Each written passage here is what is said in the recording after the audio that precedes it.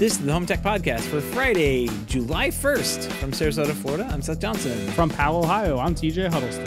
And from Pickering, Ontario, I'm Gavin Campbell. Welcome to the Home Tech Podcast, a podcast about all aspects of home technology, home automation, all the good stuff. Got a bunch of home tech headlines here this week. Actually, we don't really have anything. It's very, very, very slow right now. Um, but, but guys, guys, I I don't know if you know, but we, we kind of got yelled at. I felt it. Like it, I get depressed when Richard get yells. I don't know why. When he yells at us, I get depressed. But I'll let you break the news. It's all my fault. I looked up the wrong item, got the wrong price. You know that uh that Leviton uh, scene controller we talked about last week. Uh, I mentioned that it was $110 and it's actually $65. So Okay, a I, way am glad it wasn't me that made this mistake. I'm glad I didn't make the mistake. Uh, Richard's mad at you. Yeah. Well, it, it, it, wasn't. I, I made the mistake of saying that it was also a dimmer, and it's not a dimmer. It's it's a switch, and and the scene controller too. So it, it kind of has the same features as the Zooz that we were talking about. Um, but I don't know. I like the button layout a little bit better, and the buttons are bigger, so that's good. But the price is better too at sixty five. Like that's that's much fewer dollars uh, a button. Uh, I'm not gonna figure it out, but what was it, sixteen dollars a button or something like that? Yeah, we broke it down and and it's engraved buttons too. We have to include the engraving too. Oh, do when the- engraving. yeah, when the Zooz worked out, I think we said it was eleven something, but then you add another five six bucks for engraving. You know, it starts to get a little more than you know the price. So, you know, Richard pointed that out to us too. It doesn't have the engraving price listed. Well, it doesn't have any price listed on here. See, this is this is what this is what I th- their website's not very good. So we we we kind of jumped the gun on talking about the D. Now, now here's here's our other problem is we don't we're just like yeah it's that Decora smart Wi-Fi scene controller thing that's out second gen. No, it's called the D2SCS dash one BW. Makes Now, sense. That just rolls right off the tongue. I'm not saying uh, that's hard to remember anything, but yeah. Anyway, one of these like electrical part number companies came out with this cool product. We talked about it. Got a couple details wrong. Sorry. Um, but I, I'm blaming their website because their website's actually horrible. I it's hard to figure read and figure out what the specs are on here. Well, and if we're being honest, I blame Richard. He should have wrote this article and gave it to us so that way we could talk about it. I mean, even in the article, it tells you that uh, custom engraved buttons in any available color should cost around twenty dollars a set, and blank color change kits are around six dollars. So that's more information than Leviton gave us. So Exactly. So what was it? What was it? Sixty? Was it sixty dollars plus twenty dollars? So it's eighty dollars. it's eighty-five dollars then. eighty-five dollars. Um, and what we got six buttons? No, we got four buttons on there, right? That is going to bring our grand total to twenty-one, twenty-five dollars per button. That's So, good. Ooh. Yeah, it's it's not bad. And, let, it's not and let's be honest, half the people that buy this are never going to get it engraved. it's going to be a sixty-five dollar cost, and that's it. Yeah, yeah. I, I can tell you, uh, like the home, the the the the the, the control four stuff, like getting it engraved, like really finishes it off. It makes the stuff actually usable. Um, and for whatever reason, like it's never done. it just never gets done. So, yeah, I was, I was just trying to think. I think those control four dimmer keypad combo things are like maybe two hundred and fifty bucks retail. Wow. Maybe they're Yeah. maybe they're 299. They're nine. so I'm just gonna say, let's just say they're two ninety nine, just just for good cause, because you're gonna have like other stuff. So like each button, I know the engraving is five dollars a key a button, so that's that's another thirty bucks on there. So three thirty or three three twenty nine for that, and we'll just say divide by six. That's uh, fifty five dollars a button for you for for the control four. So that's what we're comparing it to, and that's why. I'm like, I don't even think the hundred dollar price that TJ mentioned is very expensive um, it's still a pretty good deal compared Yeah. to what is out there before. Yeah, and But what s- other consumer option can you get engraved? yeah. Le- Leviton was uh, Leviton, um, the the Insteon stuff that we talked about, and um, I guess the Zooz stuff. I don't know.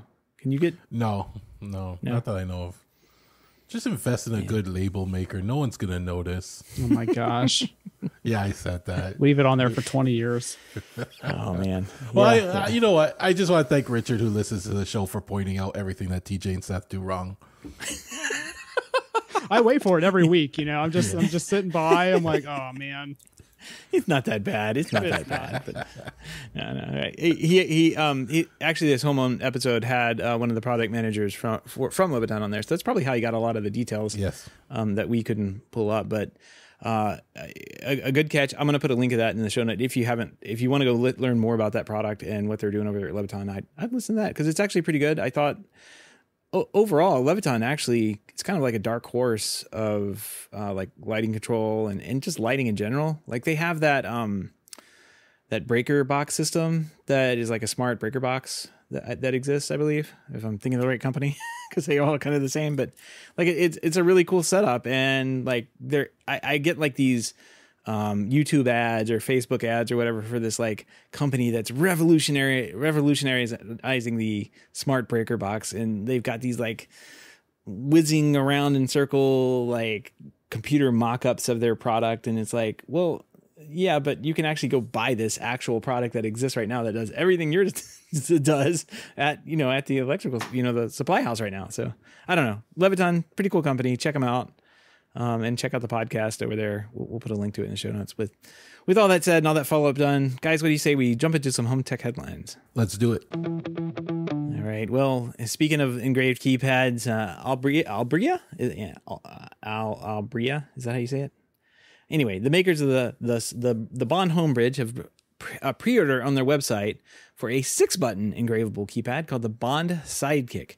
The keypad communicates directly with Somfy, Rollease, Dooya, Nice, and other brands of wireless shades, and mounts flush on the wall or in a work box. So, got a couple of install options there for you. Uh, the Sidekick also has up to five channel control and gives you the ability to set up shade limits without the manufacturer's remote. It's a $79 sidekick. It's available on Bond's website for pre order today. Uh, and uh, they have a funny little link to a third party engraving site that charges $40 for the, the buttons to be engraved. Uh, so this uh, this this keypad without the engraving brings it down to $13 a button.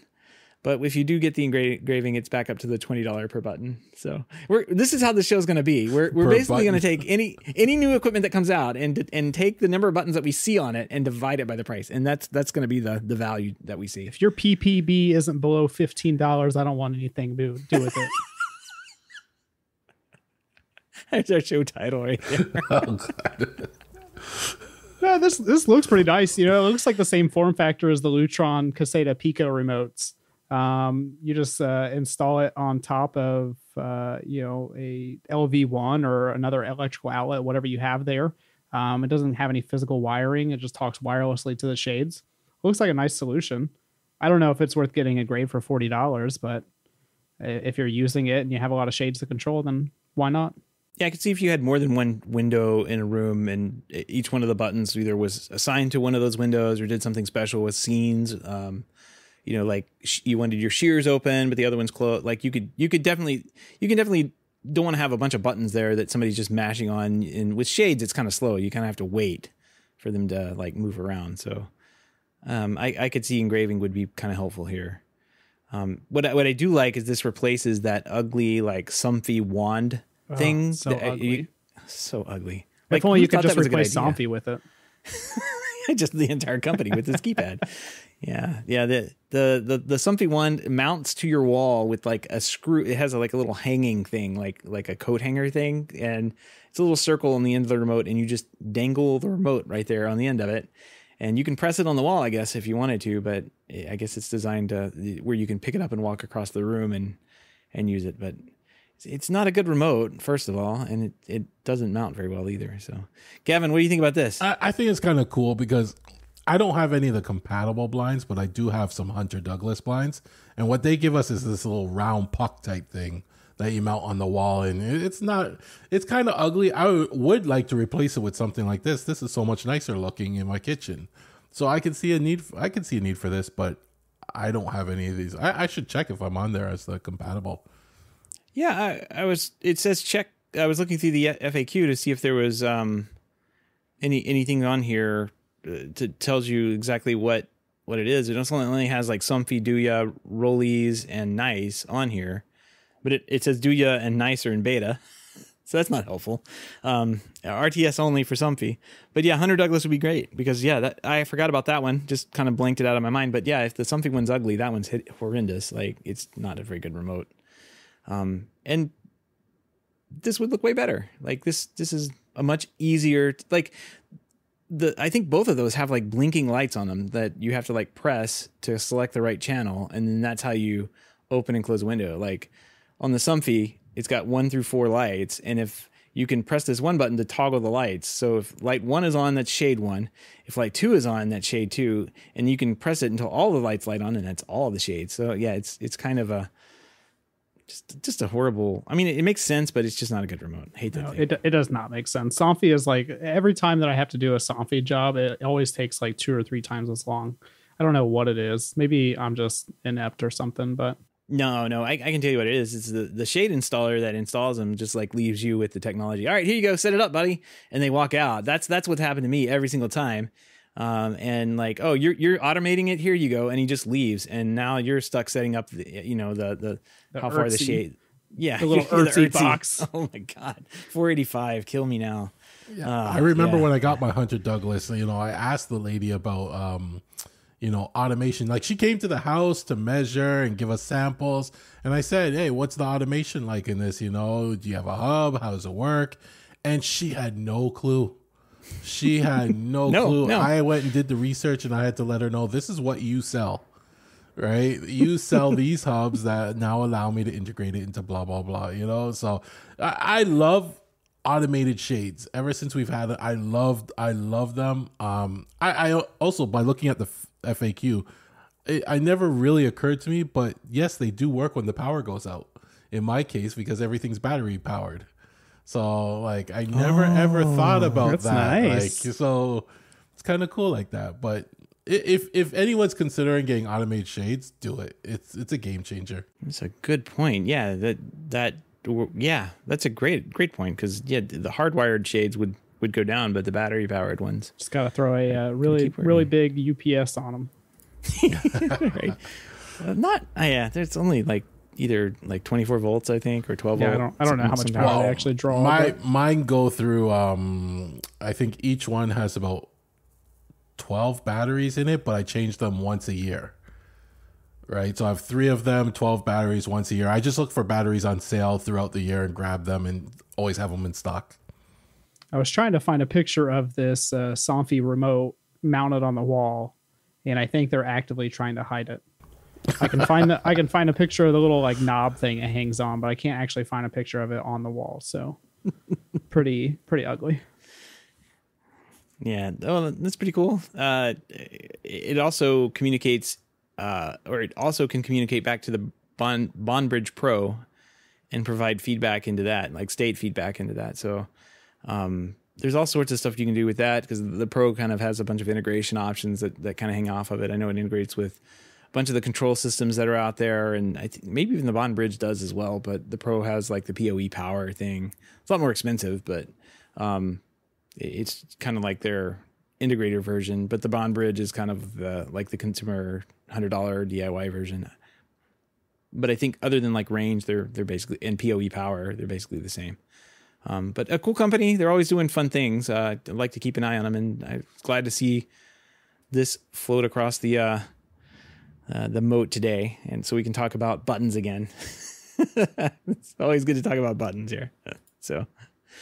Uh, well, moving on here. Speaking of talking about buttons and, and pressing them, uh, right ahead of the big Matter launch, uh, SwitchBot is announcing HomeKit compatibility for. No, not not the toilet thing. It's just the SwitchBot plug mini. Um, so yeah, you can't say Siri flush the toilet. Yet, It's gonna happen though. Yeah. uh, the fifteen dollar plug is probably the lowest HomeKit compatible device I've seen. I really can't think of anything else that's that's that's cheaper than fifteen bucks. But it also works with Alexa, Google Assistant, if this then that that that that that smart things, Clova. I don't even know what that is, as well as some other integrations like like Siri shortcuts, which probably isn't really relevant or needed anymore now that it's gone full HomeKit. So that's pretty cool. Uh, the SwitchBot plug, SwitchBot plug mini is now shipping and can be purchased over at SwitchBot's website. Uh, 15 bucks and you can get like a two pack and a four pack or something like that as well. Not not, not bad. It looks nice. I wonder if it actually takes up like two outlets. That's one of the problems I have with a couple of the Singlid Wi-Fi outlets I have right now is they just take up two plugs, um, unless you get like one of the little tiny extension cables or something. I, I thought they had designed it to not like cover um, both outlets. Uh, yeah, the pictures of them show it's pretty small. Yeah. Like the- it's it's smaller than the compact. Wemo ones, which were pretty small as well. No, no use for me, but they look like a nice solution for somebody. Well, I know that somebody might be Gavin because he's absolutely in love with with SwitchBot, right? I, I I just find that they're a company with some of the ugliest devices, but most practical devices. So like their lock is like it's the ugliest thing, but I get why it works and why people would buy it and why they would install it if you're living in a condo or something like this, right? I watched a video recently this week where they were interviewing their CEO. I can't remember where I saw it, but he was talking about, you know, devices they're working on coming out with. And some of them are like um, you know, those switches that you overlay your old switches. You know, they're coming out with some of they're working on those. They're working on their own blinds. Of course, everything looked ugly but it's so practical, you know. And I wouldn't be surprised if they come out with a SwitchBot toilet flusher or something like that, or you know, you can integrate it with Alexa, so Alexa listens for when you're done and auto flushes the toilet. You know, like you know, when you're finished, you say, "Ah, my leg is dead. My leg is dead." You know, then that's the sign for it to flush the toilet, right? I mean, don't they have? I th- they have. uh They don't have them yet. Uh I thought they had like air quality sensors, uh, but I don't. I don't see one uh, on their I think it was right built now. into one of those other sensors, like uh, the little yeah the little meter things that they have yeah i think so i think you might be right yeah because there's like a humidifier too um yeah i don't know this seems like a pretty cool pro- product i also see that it includes like a uh, I remember the, the the the marketing for this when they announced it a couple months back. It had an energy chip inside of it, and you can do energy monitoring as well. which is not supported on Matter. No, no, but uh, one of the things you can do with this is it can tell if if if something is turned like a lamp is turned physically on or off. Uh, you know, so like it's kind of like the reverse of of the lighting control that we're you and I are thinking of. Like if you had just a, a lamp that you wanted to turn on, that could actually trigger something in automation if if that is surfaced in HomeKit or any any of the other um, devices. I, it may not be surfaced in the main HomeKit app, but it might be surfaced in like other third party apps that can get down and find those variables and watch them, that kind of thing. So cool product, fifteen bucks. Mm, Not not a bad price. I, I'm I'm loaded up on Wemos though, so I don't I don't need any of these. Uh, for whatever reason, I ended up with like four or five of those Wemo, like little small skinny ones. Yes. Yep. Yeah. And they work they work well enough, but I never I like I think I have one on one lamp that's actively being used, but the rest of them are for like Christmas time where the Christmas lights are up and tree lights are up and that kind of thing. So uh, they they just kind of disappear and then I have to install them and firmware update them every year. It's part part of the holidays now. Yeah, for I, I usually have all the smart outlets I need, but for some reason around Christmas time I never have enough. So right, right. Well, you go over here and get like a, a, a 10 pack of these things, and yeah, you'd be good to go for a while. All right, well, let's move on here. Um, speaking of HomeKit as well, kind of like uh, a bunch of uh, little small stories here. Um, we discovered back when they announced iOS 16 that the for, for iPads to be a home hub, a HomeKit home hub, uh, was going to disappear in iOS 16. Uh, so it turns out that's not quite the full story. It's kind of been going around back and forth, and finally, Apple has kind of come forward and tried to clarify. I think this may be the second or third time I've seen Apple try to clarify what exactly they're doing here, and they're being shifty about it, guys. So let's. I'm going to read what they they wrote here in in this story, um, but listen to this. It's kind of weird. Um, they're not losing support for what it can already do, but you won't get an important update.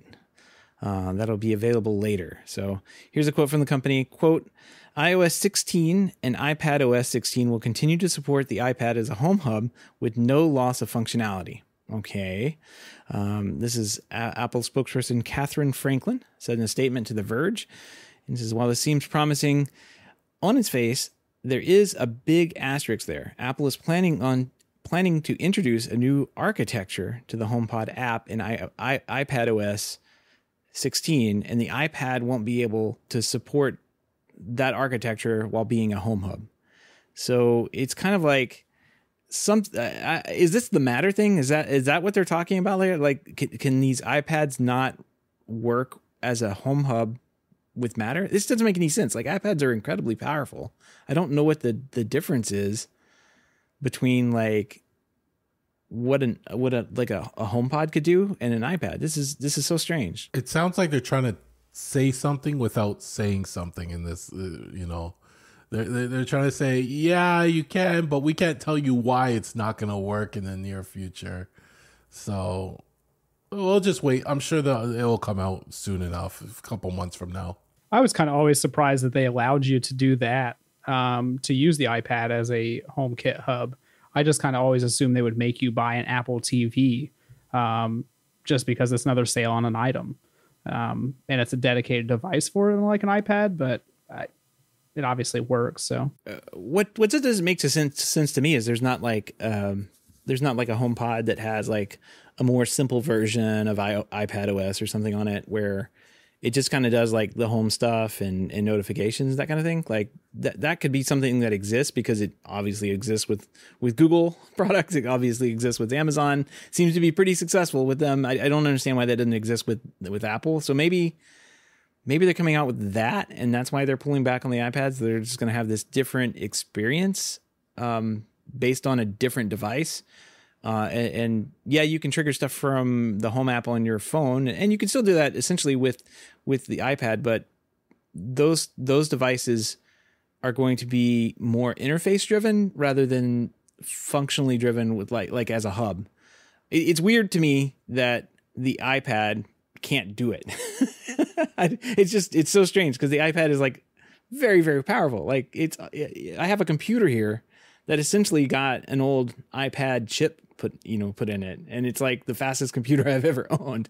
So it's just it's really strange that they would go this way but um i don't know. It's this new architecture that they keep talking about and it says it's more efficient more reliable experience. Um so they're, they're going to pull back on, on on letting you do that. And it's not the end of the world. Like it's a to get a home pod it's like 100 bucks these days right? Maybe a little bit less um if you catch them on sale but uh, it's it's just strange that I they're they would pull back a, a, feature that's kind of been around since the beginning.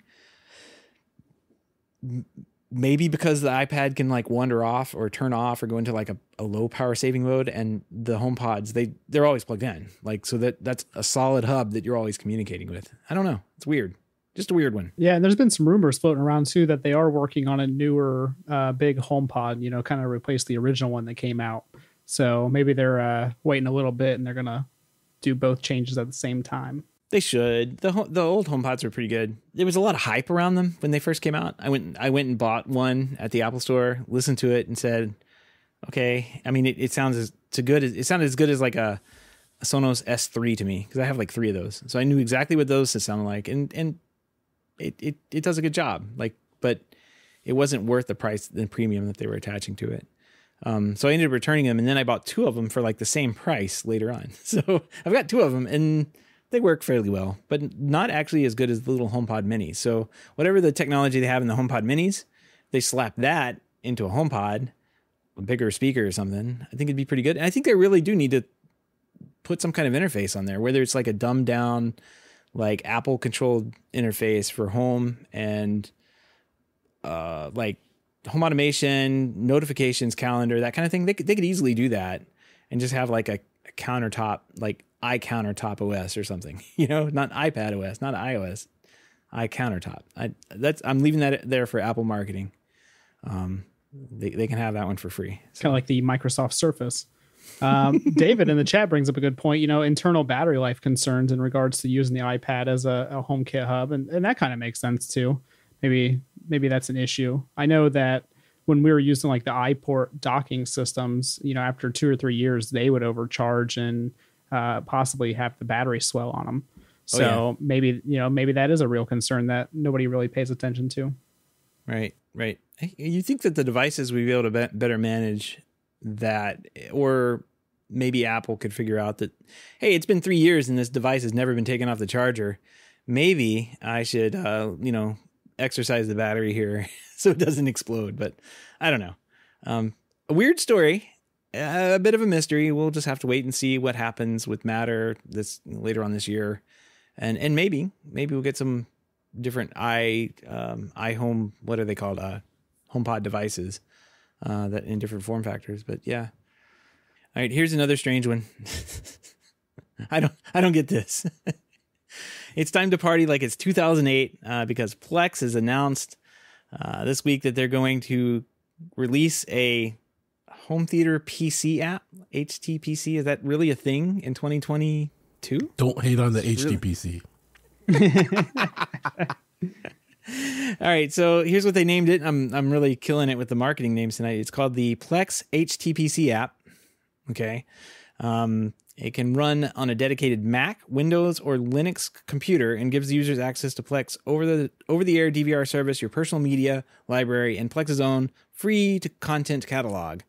Um, it offers the same full screen interface as Plex existing apps for smart TVs and streaming players, and you can navigate with a keyboard or game controller. I just, I, it's just really, really a weird one. Uh, Gavin, uh, I have some notes here about like what Plex has done over the years, but like you, you, you actually, out of all of us, you probably are the only one. I don't know. TJ may have one, but like you, you, you have a home theater PC on on just about every single TV. Yeah, yeah. All my TVs are like little mini um, Dell boxes running Windows and Kodi as the front end, and um, I, I don't.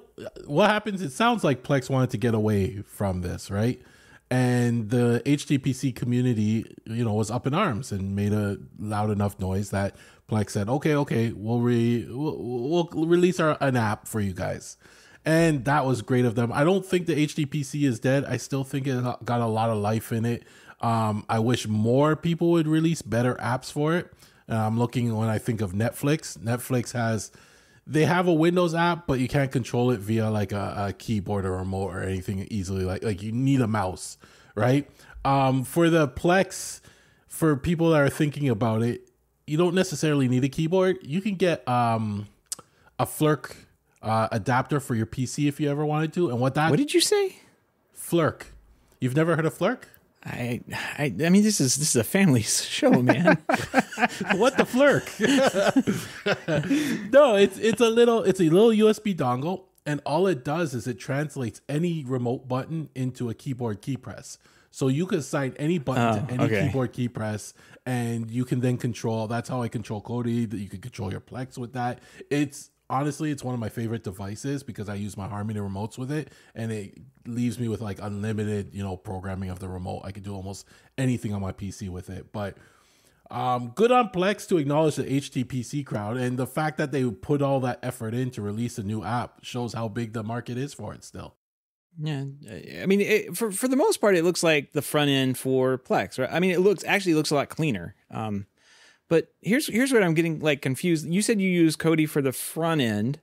Yes. So uh, obviously there's something else that you so you're you're you use Plex as well. You've talked about in the past. Plex for just media management. So you No, I use Emby as my media manager. So on the server, I run an Emby uh, server and that does all the media management so keeps my libraries in check, keeps my users in check, etc., etc. And then Kodi, the front end just presents the information because I prefer the customization and how it presents things on the front end. And it works a lot better on the PCs than their app. Got it. Okay.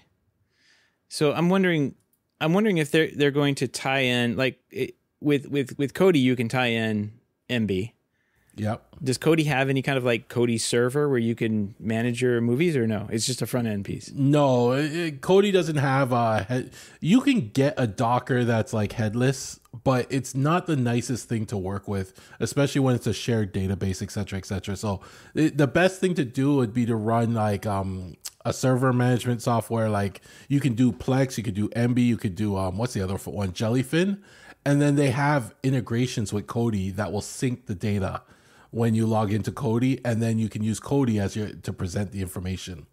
Yeah, so I, that that's what I, has me kind of scratching my head on this because Plex is kind of like so. Plex started off as your just your media server, and you put you ripped a movie off of a disc, a DVD or a Blu-ray or whatever, and put it in a folder or actually just it, you just named it right it's it's really comes down to the name with plex it can go out and figure out what that movie is based on the name and download all of like the cover art and all the pretty stuff and it gives you a nice pretty interface there um, and, and can somewhat organize things for you too there's there's a bunch of different plugins and things that were kind of like hacked together over the years that that go on top of it but um, slowly they've been kind of like expanding out recently and, and and changing what they do. We talked about a little bit about the like the the the streaming like you don't even have to have a media server. Like you don't have to have hard drives and and and figure have to figure out how to rip your discs or anything like that anymore. You all, all you have to do is download plex and you can get in there and you can like start watching their library of movies that are like ad supported.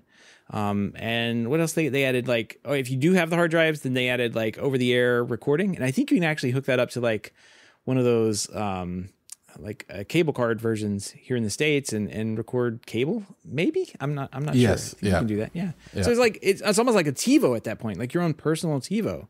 So I mean the, the whole goal of Plex has been like a one stop shop and and have everything kind of like built into one place with a nice interface. But what I just don't understand about this home theater PC part is like, okay, well, so the, the, the that app runs on like tons of devices, like that, it, it- tons of like client devices. It runs on like all all the media players, like Roku, Amazon, Apple. It runs on TVs, like you, you'll see it on like LG TVs. You can just run it natively there, and it connects to that that server that's holding the files and and reads the library off of that and makes a nice interface up on the screen. But this thing, this home theater PC app, is is that interface that would normally run on your TV, but it, it's it's going to run on a dedicated computer, and I I just don't know what. Like it seems like that dedicated computer could be more um, robust in how it works. Like right now, if I go to my Plex and I have like that TJ TJ, we are talking about that like um, I forget what they call it, like a universal dashboard or guide or something like that. You go into that and you hit like, whoa, I want to watch this movie, and it, it kicks you over to Netflix. Like now I'm out of Plex because I was watching it on Apple TV and it, it automatically launched it over to Netflix. But now I'm in the Netflix app, and to go back to the menu I was at, there's no like navigation on the Apple TV. You got to close the Netflix app. You got to go back into Plex. You go pick up where you started from, it's kind of a pain. But it seems to me like that home theater PC could actually launch, possibly launch something in it that plays the Netflix video natively within Plex. It could be within a browser or whatever, but like you wouldn't have to see any of that skin or Chrome around the edges of the browser. It would just be like full screen video straight from Netflix. Um, so it seems like they could really lock down their interface if they if if they really wanted to. And the, the interface looks way better than than what I have for Plex Media too. It looks really it looks really good. Well, that home home theater PC can also serve multiple purposes. So it could be a gaming PC as well.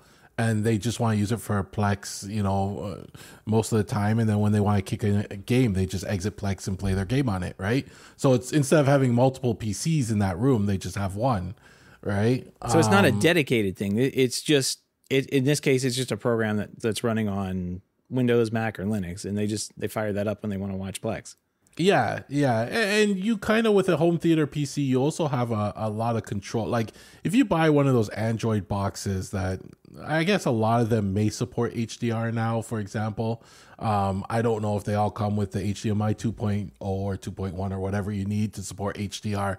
Will they play HDR? I don't know. But if you have a home theater PC, you just throw in the right video card and you got HDR content now on. And I'm a big fan of HDR now. I just introduced to it like I'm literally last month, and I'm now loving my HDR content. And it's you have control. I upgraded my little HD PC. I got HDR content, so 60 hertz, 4K, and it's beautiful. Yeah, that, that's a good point. I can't upgrade the video card in my Apple TV or my my Roku stick thing that just has an HDMI output. Like if if I want to go to the next greatest technology that that comes out with HDMI, those video cards are, are probably on the the bleeding edge most of the time, uh, and and it's just a, a driver update for those.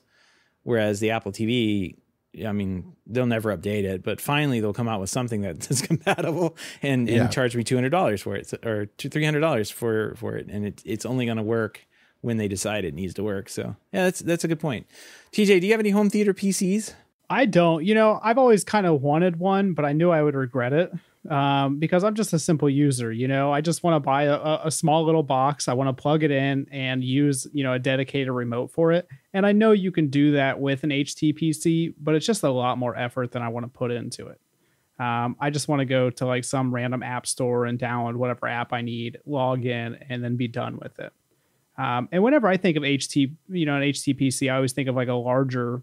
You either go like a, with a larger custom computer, that way you can upgrade like the graphics card and the solid state and everything like that, or you go with something like the like an Intel NUC, um, which is great, but you're not going to upgrade it at all outside of like the memory or the storage.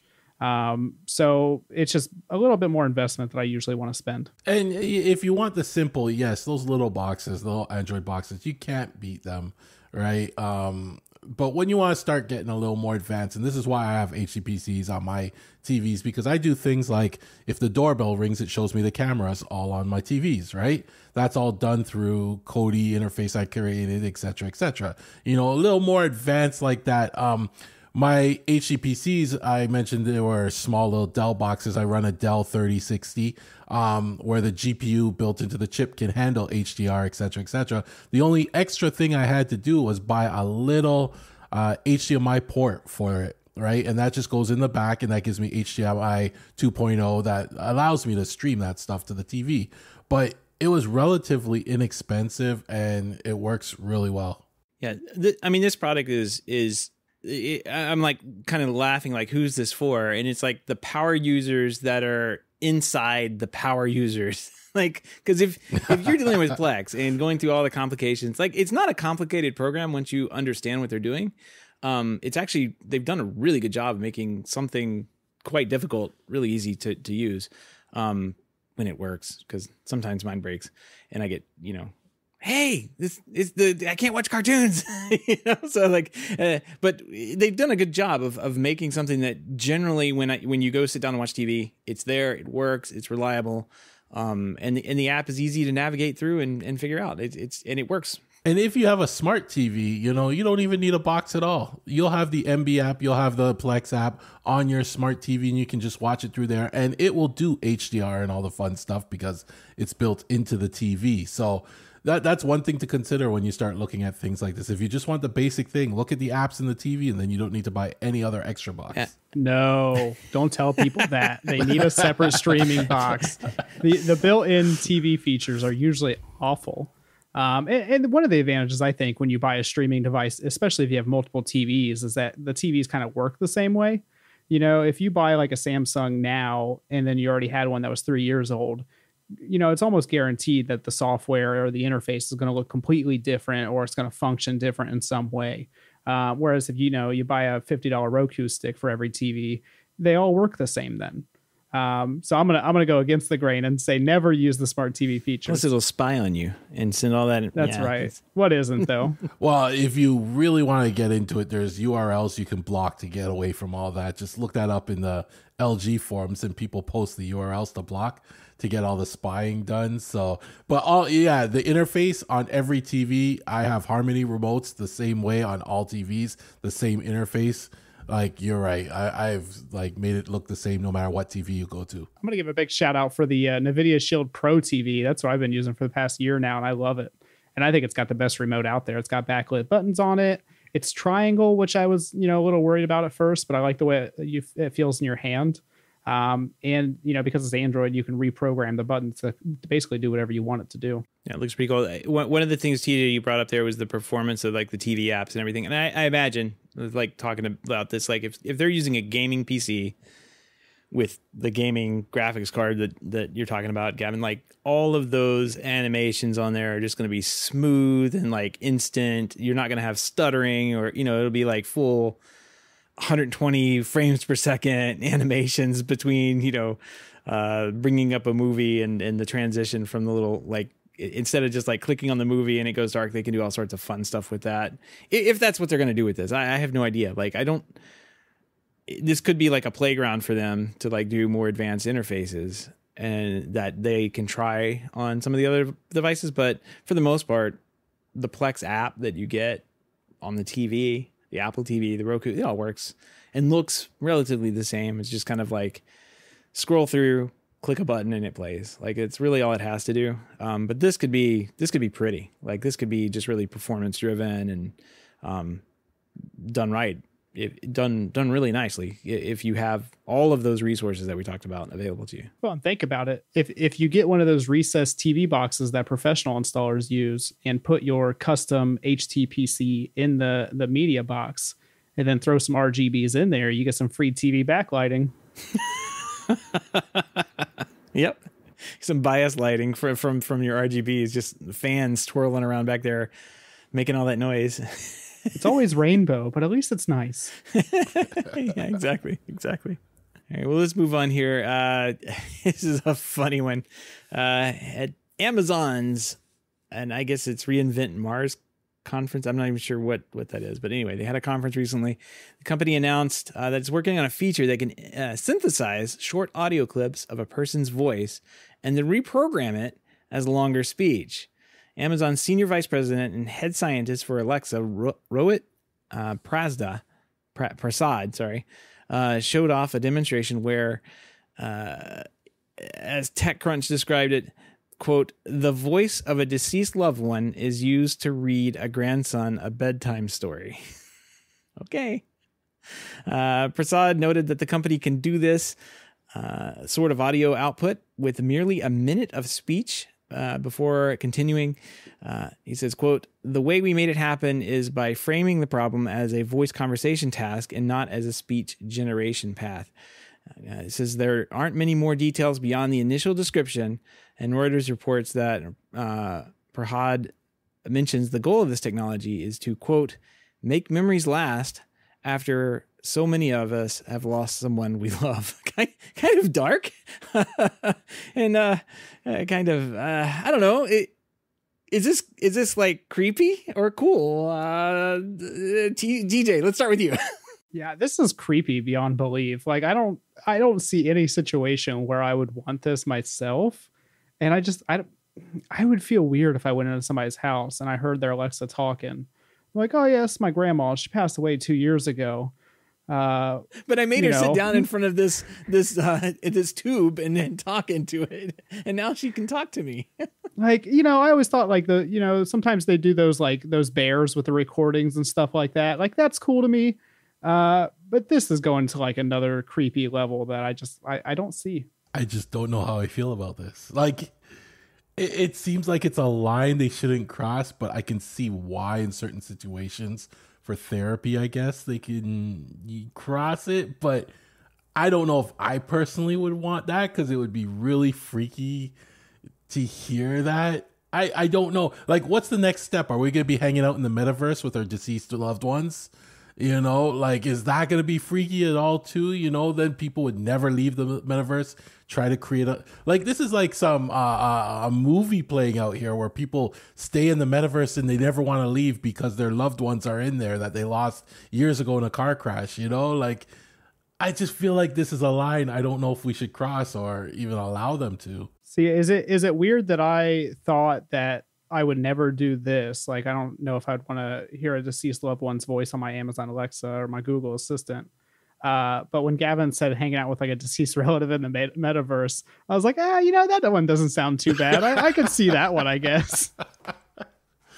I, I, I don't. It's kind of similar. If you think about it, though, imagine like you're watching home movies of your deceased one, right? Like you're listening to them talking, but you're not actually interacting with them at that point. You're not saying, Granny, you know, read me a bedtime story and, you know, hearing her read you a bedtime story. You know, it's one thing to watch memories with them, but it's the next thing to interact with them. Here are a couple of things that I found on the internet. oh, oh man. so you say, "Hey Alexa," and it's like, "What?" when when you think about your inner, if you're interacting with them, I, again, they may take this to another level where they're building a profile on people based on your shopping, based on you know what they gathered about you, so that when you do interact with them, they'll be more and more realistic.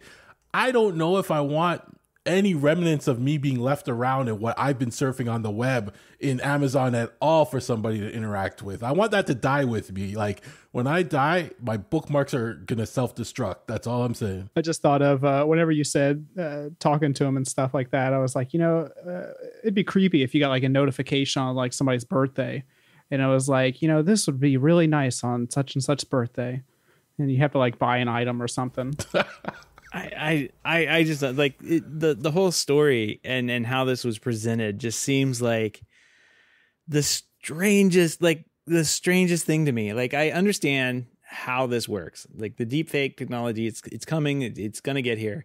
Like I mean, you're talking about like you, you, talk to your you talk to your Alexa all the time. Like you talk to her in her sleep. So like she she already's got those recordings. They they already yeah. know who yeah. you are. They already know yep. that you you you got that 75 inch LG TV and uh, and it, it's gonna have or 55 inch. Um, so yeah, they they they they already, they already have your voice, and so you you can be synthesized already. Um, and, and I can probably you know asking for kitchen timers when I had mine running. They probably can synthesize my speech as well.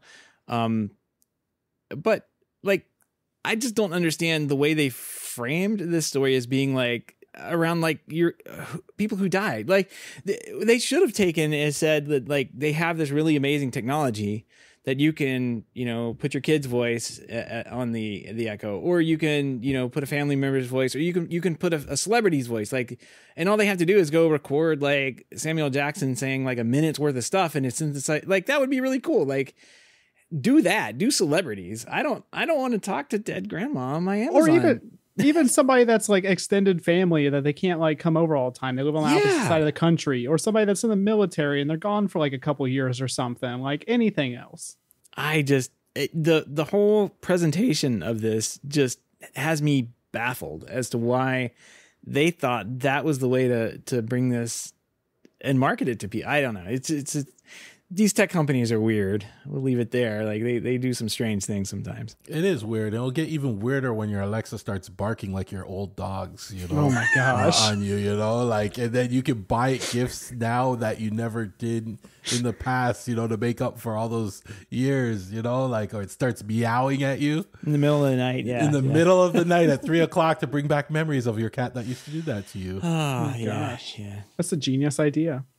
Can it make the little scratch under the door sounds too? Like yes, just, or where they jump up like, and hit the knob, or yeah, or were they're able to like get a little bit of grip on it and just like bang it back and forth like like a, a suddenly like that that one that one's not jarring at all. Like if if Alexa can do that in the middle of the night, um, yeah. And then I'll jump into the metaverse and, and pet them and hang out with them, and we'll yeah. throw the ball around, and I'll have a grand old time in the metaverse. You know. then your ring alarm system calls the cops because it's not sure what's going on at yeah. three o'clock in the morning.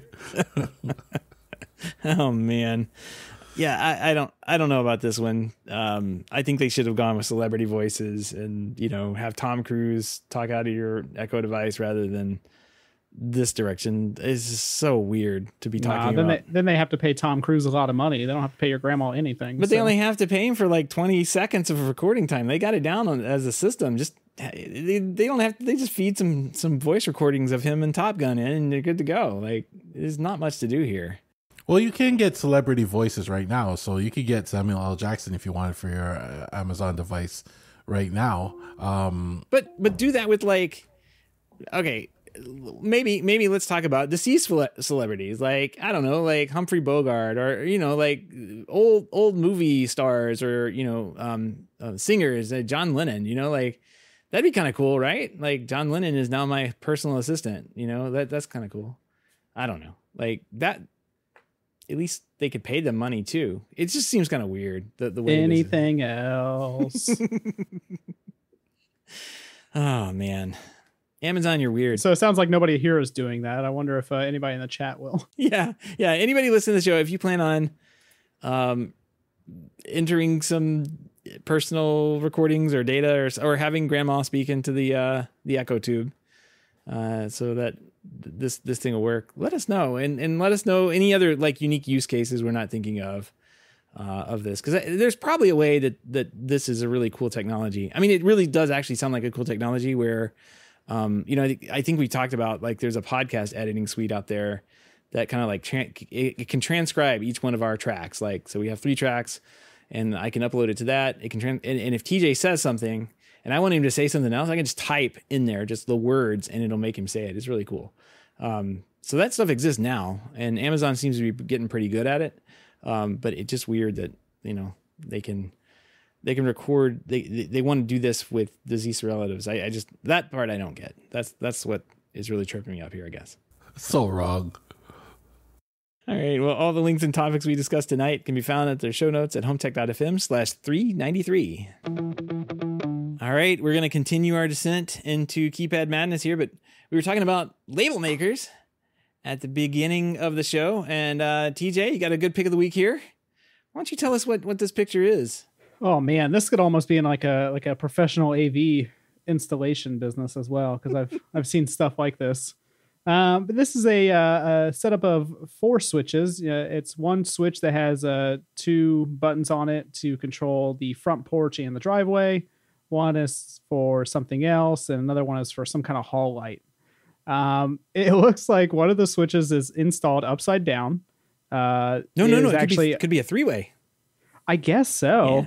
Yeah. Oh, no, no. Because it, it would be, it would, that, no, you're right. I think it's upside yeah, down. it wouldn't matter in Yeah. a three way. So I don't know. Maybe they just have it marked that- so you keep it off like that. I don't know, No, no. but that would be on. So I whatever. But it looks like one of those switches is upside down.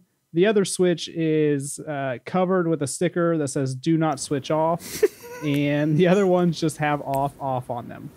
Uh, one, two, three, four, five, six, seven, eight, nine different stickers on four different buttons to tell you everything that is going on and it makes me sad. But to the uh, to the Reddit users' uh, credit, they are looking to fix or replace a lot of this. So Yeah. at least they weren't like proud of their setup. this is common. I mean, this is extremely common in in the homes that I was in because they were they when when when I was when I was working, we were mostly in the, the mansion homes, and they didn't do any lighting control here. They would build like two million dollar homes, and just like deck it out with lights and fixtures and everything. And then, yeah, in your kitchen, you'd have at least three or four six gang keypad, you know, not keypads, uh, uh, of dimmers and, and controls that you had no idea what they did. And so I would see this all the time. Like this is extremely common here in Florida. Um, the, the off one, the, the, the off stickers actually take the cake for me though, because I haven't seen that, but I have seen plenty of them labeled. and I've seen plenty of them like doubled up, you know, where they, they like, oh, we, we can split that off and we'll put the driveway and the front porch on two different light switches. Um, and then you have the two labels, but, uh, the off, the off is truly unique to this. And I, I, I really, I really like that they spent the extra time to indicate on this keypad which but which button, the top or the bottom, that you need to press to turn that particular light off. That's that's really good. All I'm gonna say is invest in a two dollar switch cover. Like if you have to leave your switches on all the time for some reason, that is perfectly fine. There's plenty of actual reasons to do that. Like if you're installing like a ring floodlight camera and you don't want somebody to turn it off, totally legit. Install a two dollar cover. You can still turn the light switch off if you absolutely need to, but it just makes it to where you can't just walk up and turn it off.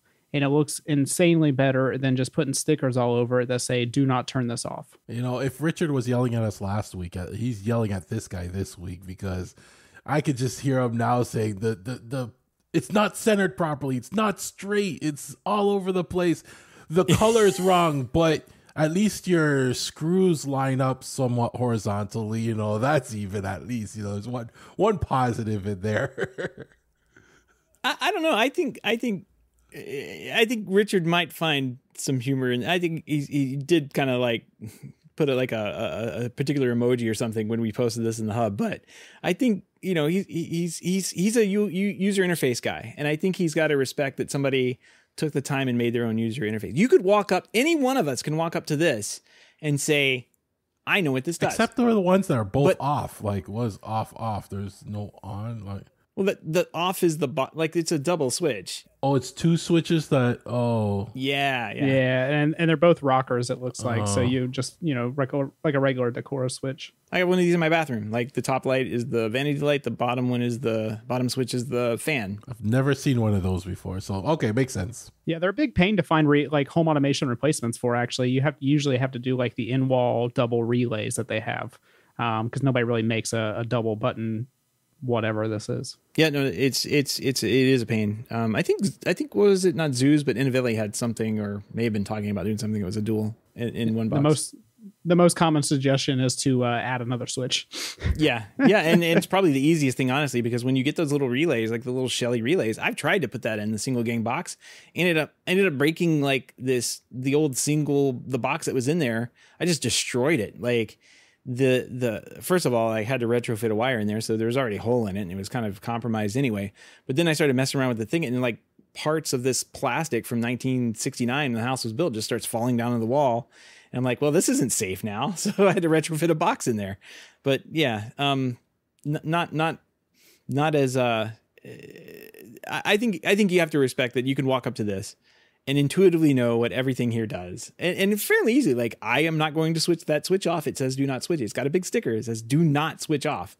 Even and it tells me where the off is. Like it's it's on. So I don't know. I, I'm I know it's ugly, uh, but honestly, I see I've seen this so many times in my career. Um, it, it's kind of embarrassing. and for those of us that have been dealing with Windows app all these years, we're used to ugly interfaces, so that's all I have to say. yeah, I mean, yeah, exactly, exactly. If you have like the Insteon or the Zooz, the Inovelli or something like that, uh, or or one of these engravable systems that we're talking about, that like Control4 or Leviton Now, or uh, something that you can you can put the buttons and say what it is on there. Um, that's like that's like the Mac, right? like it all looks nice and pretty. It's all put together. Uh, this this is Windows. Yeah, here you go. I bet you could play Minesweeper right there in the corner. All right. It's a good analogy there. If you have any uh, feedback, questions, comments, picks of the week, or great ideas for a show, give us a shout. Our email address is feedback at hometech.fm, or you can visit hometech.fm slash feedback and fill out the online form. All right. Well, that wraps up uh, another week in home tech here, guys. Uh, I, I got a question. I, I've been watching the, the latest seasons of For All, For All Mankind and Physical, Tehran, those are all on Apple TV. I just kind of like was sitting around and popped up the other day. Stranger Things, Netflix. I, I think that wraps up this the end of this week. Uh, when July first? Yeah. So by, by yeah, the time next week, yep. So yeah, I should I should be wrapped up on that as soon as they come out. Um, what are you what are you guys watching right now? What, what what's what's on what's on the tubes at home? In terms of my list, um, I, I am the usual. Uh, you know, some of the popular Miss Marvel. Um, I'm a big fan of the Orville. You know, I'm a big fan of Strange New Worlds. I've been watching that. Uh, Westworld just started back up. Uh, we just finished Obi Wan. Um, I watched one show called Night Sky that was pretty good. Um, and then one of our little dark horses um, that I've been really enjoying is a show called The Man Who Fell to Earth. You know, me and the wife been watching that one, and it's been a really good show. So that that's just some of the more popular ones. I have a whole backlog of other stuff that I'm gonna watch during the summer, but those are the ones we just caught up on. Interesting. Yeah, I, I, I guess I forgot to mention I I've seen the Obi Wan one. I haven't seen the Miss Marvel one though, so I'm glad to hear that that one's pretty good. I want to check it out.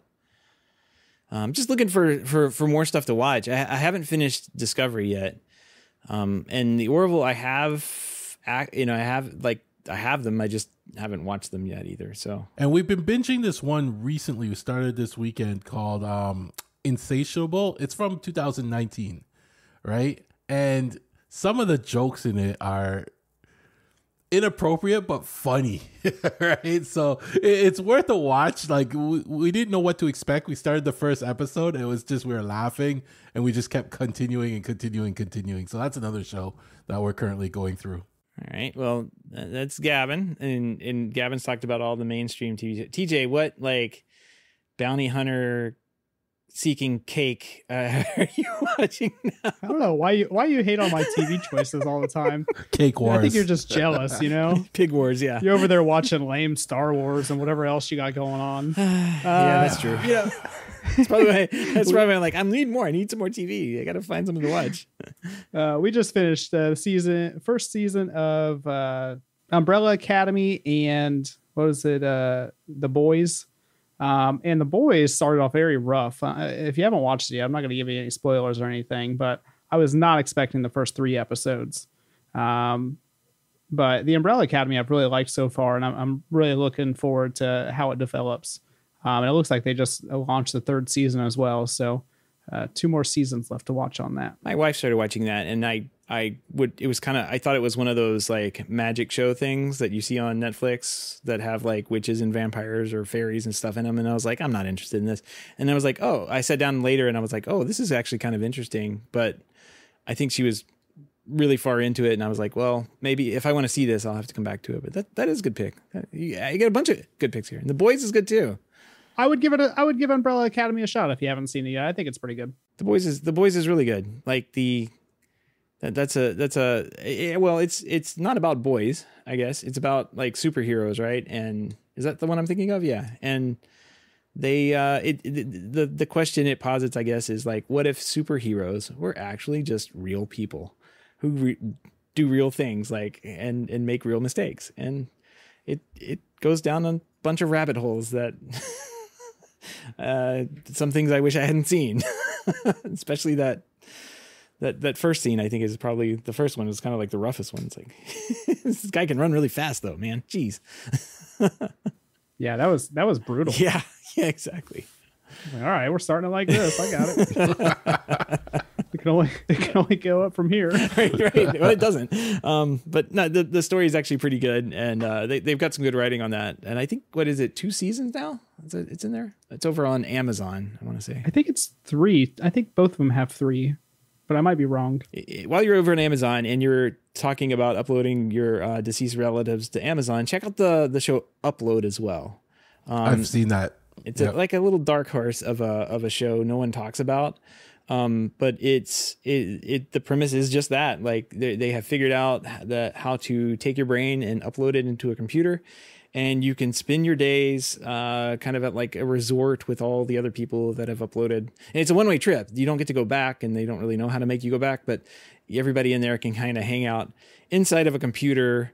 Uh, a bunch of computers, like a resort that that is at this computer, and all the shenanigans and things that happen uh, with that. And there's plenty of shenanigans because it's a computer, and computers crash, and it's a it's a comedy. Very, very it's a dark comedy, but still a comedy. Mostly pretty good. It's pretty yeah, good. Yeah. And if you're looking for movies to watch, uh, we watched uh, this weekend on Netflix, The Man from Toronto. Right, uh, that's Kevin Hart. I thought that was um, about you. nope. Eh, the, the the thing that everybody you know is hating on this movie is how they say Toronto, because they kept saying Toronto. Toronto. You're the man from Toronto, and we're all like, that's not how you say it. But you know, we let it slide. It's it's been popular, and there's one other movie I watch. I'm halfway through called Crimes of the Future. Now, if you just look at the trailer, it, it's disturbing, and the movie it's just weird. But I keep watching it for some reason. So if you just want like those weird kind of movies, take a look at the trailer, Crimes of the Future. All right, I've got some. I've got, I was writing everything down, so I'll put links to all this in the show notes too. Like this will be my my summer catch up on on a bunch of TV shows that I haven't seen. You know, like, I've got I've got quite a few here, and definitely need to go back and revisit the Umbrella Academy. So um, it seems like it's a pretty good one. But if you guys have any, if anybody listening has any uh, I uh, show suggestions, I'm up for them. I, I'm I'm ready to watch stuff now. Like finally getting over some projects at work and more are coming, but I don't care. I'm just, I'm, I'm saying I'm done. Like I'm finished. so you're never like, finished. I'm not going to be as busy anymore. Yeah, exactly. but I, would like to be able to turn something on, uh, yet, you know, once again and start watching some TV. So, uh, there's plenty of stuff out there. It's all, it's good time for TV and, um, just want to see if I'm, I haven't, I've missed something because there's a lot of good stuff out there. Um, that that don't there's so much going like so much good TV out there right now that it's like if you you miss something you find out about it like a year later or something like that. Like Counterpart, have you guys seen that one? Yeah. Counterpart. Guys saw that. Yep. Never heard of it. Excellent. Like I think I've recommended it before, but it's uh an old Showtime. It was canceled off Showtime, and then somebody bought it and moved it. I don't know. They paid for the second season, but like it was saw this before the pandemic, and uh, it kind of has a pandemic esque uh, vibe to it uh, at, at, some point during the show. But uh, that that was a that was a really good one, and I forget what it's on. Maybe Amazon. I'm not sure. Maybe Hulu. But definitely check that one out if you haven't seen it already. Anyway, uh, what we want to give a big thank you to everyone who supports the show, but especially those who are able to financially support the show through our Patreon page. If you don't know about our Patreon page, head on over to hometech.fm slash support. to learn how you can support Home Tech for as little as a dollar a month. Any pledge over five bucks a month gets you a big shout out on the show, but every pledge gets you an invite to our private Slack chat, the hub, where you and everyone else can get in there and, and make fun of, you know, us making mistakes on the show, but also talk about TV shows because I'm, I'm up for that. There's been a lot of conversation recently. I've barely been able to keep up with it, but it's been, it's been really active in there. So come join us. We have, we have, we do have a lot of fun in there. Um, and also if you're in there on Thursdays question mark or maybe Fridays I don't know like we're gonna have these home tech talks and we all like anybody in there can just hop in sit around the water cooler and talk and uh complain if you're Greg he'll he'll have some complaints and grumbles in the background and if you if you show up late he'll be done complaining He'll be a happy Greg but he gets it off of off his chest and and, and at the first parts and and then after that he's good to go um, so it's it's kind of like therapy. It's home tech therapy. We should just rename it home tech therapy, and and and call it that. Wouldn't you have to change the initials at least? No, it's it's perfect. It fits right in. All right. Uh, if you would like to help out but can't support the show financially, totally understand. Uh, we just appreciate a five star review on iTunes or positive rating in the podcast app of your choice. That wraps up another week on Home Tech for everyone here. Have a great weekend, and we will see you next week. Take care.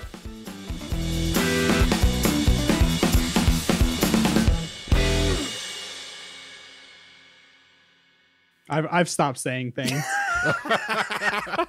and you're leaving that in, Seth. Um, it's like I don't even try for the uh, the middle part anymore. I'm just like, yeah, You whatever. can say, Gavin you can can say, say. Happy Fourth of July. You know, you can eh, say Happy something like long that. weekend. Oh, happy Fourth. That's funny.